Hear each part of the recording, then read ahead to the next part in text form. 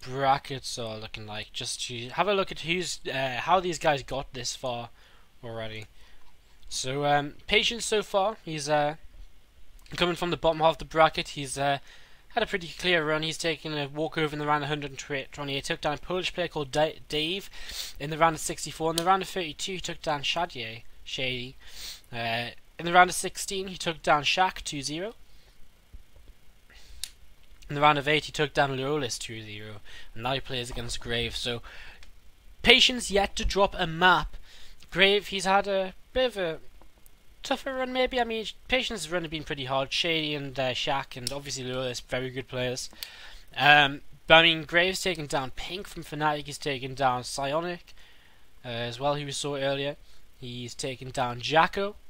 And uh, he must have taken down someone a little bit early on too. Uh, took down Darth Potato, who used to do quite good in one of the qualifiers previously. So you can't actually see anything because I went to press this button, not uh, this button.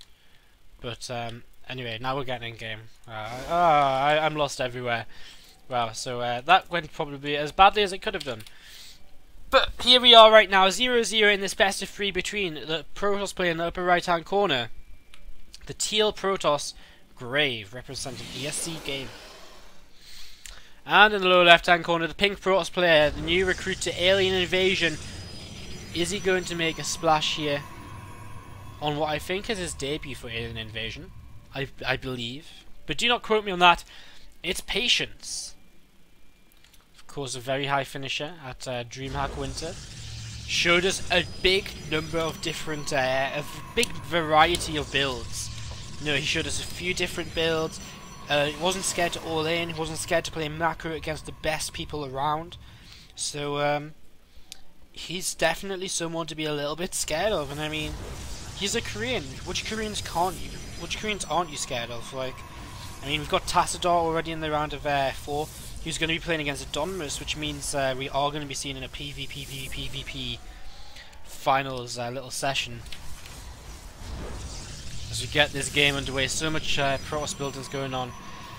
Three in each gas for Patience right now as he throws down his Cybernetics Core. Two in each gas right now for Grave. So uh, slight differences early on in these builds. As guys, you'd probably be very excited to know I have but two and a half hours left of being a teenager. It's very scary. Very scary indeed. It's um, it's almost as though I'm growing up and doing things with my life. Only I'm not going anywhere.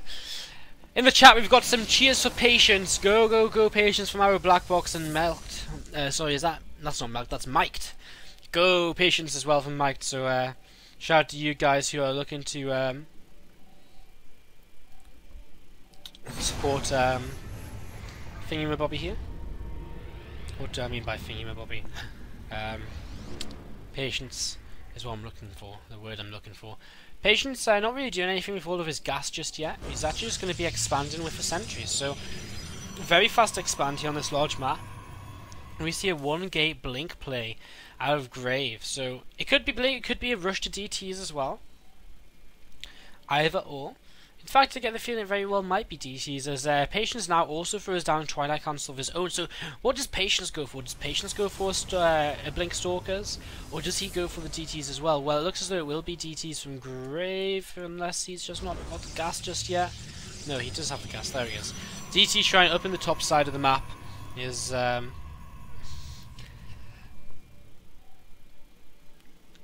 Dark Shrine in the top side of his base, sorry, is um, on the way down now. And what's Patience going to do? Because Patience is going to throw down a Dark Shrine as well. We've got DT against DT. Ah, how fantastic. Thing is, Graves got a robo facility already on the way. His DTs are faster. Uh, Patience, he's got a Nexus on the way. So, if he gets his own D, uh, robotics facility up sometime soon, which it looks like he might put down over here, because he's hiding all of his tech in this little corner to try and deny scout, and yes, it will be. There will be that robot facility coming down. And you know, I really like this because this robot facility is actually very hard to hit. It's kind of limiting the surface area on it. If, if he suddenly sees DTs running here, he adds a pile on here, he can buy so much more time for his uh, robotics to actually get an observer out. So little things like that, always little things to consider here in uh, PvP, especially at high levels. They do these little things that sometimes don't amount to nothing. You know, I could just be talking rubbish. He might just put it there because the rest of his text there because he wants to hide it, but every little thing will count at this kind of level of players. A single DT is warped in from grave. He's starting to expand, and now for the first time in this game, he sees his opponent has an expansion already out. In patience, does he see the DT? Yes, he does. And um, well, that DT is going to be able to get a single probe kill, but not too much else because uh, Patience has already uh, reforce that ramp and he's getting his uh, observer on the way. Another probe going to get uh, stuck and killed off, so two probe kills, but of course a much faster Nexus for Patience compared to uh, Grave, who is uh, just defending DTs of his own as well right now, I believe. Um, yes, uh, DTs of Patience right now, just being defended and uh, this DT gonna get. Ooh, it actually gets. Uh, ah, no! It's swiped twice, but it actually didn't kill anything. This DT's being killed over here. That DT only actually killed one worker, but it looked as though it should have killed a couple more. So, um, overall here, I mean, Patient has actually lost a little bit more. He warped in an extra DT, he lost a couple extra workers, in the end of the day, it's not completely game-changing. A time warp goes down to catch this DT and force field, so he's really desperate to kill off this DT, and he's not going to get it, so what a waste. Time warp and the force field to uh, let the DT just get away there in the end. A little bit of a miscalculation, you could say, out of patience. As uh, Grave will just retreat this DT and use that for later in the game. Still got plenty pylons up in this bottom side of the map to be used for aggression. Patience currently sitting at a 4 worker lead.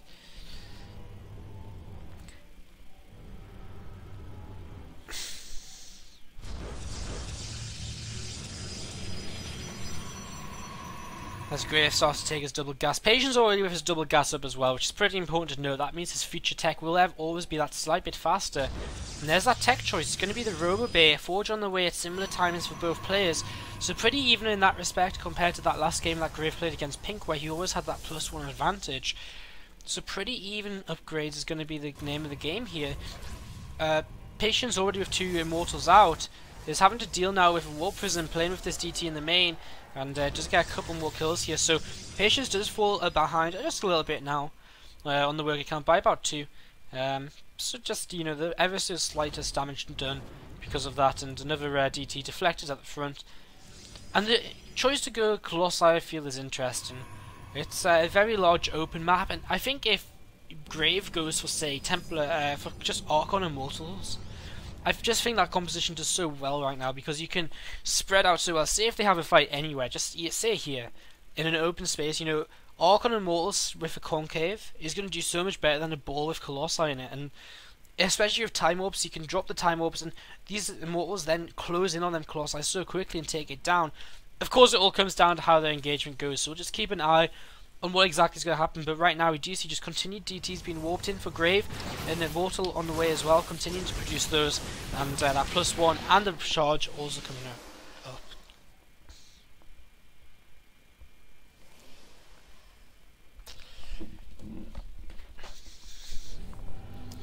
See these couple of units just moving around ever so slightly.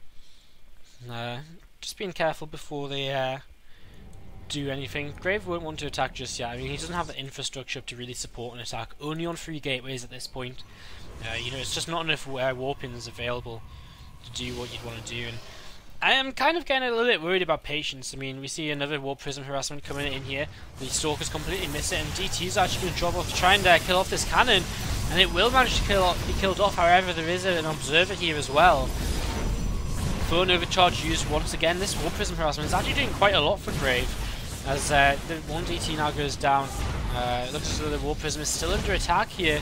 The Stalkers aren't going to be able to chase that down, but uh, will be able to uh, kill off that other DT as well. Now 13 workers killed from uh, Grave, so doing a good job continuously harassing here. Very even uh, uh, money spent on either side as well though. As Graves going to start taking his third base. Still no real tech other than just these immortals up for him. His uh, charge lots of course have finished upgrading. And he will be able to move into a uh, plus two attack if he would like to right now. He's going to go into Stargate as well, which is something we saw him also do against Pink, especially when he saw that he was playing against Colossi. So this could be just Graves' way to answer Colossi. Going Stargate, getting out of some Void Rays, getting out some uh, Tempests even. And um, seeing where it goes from there.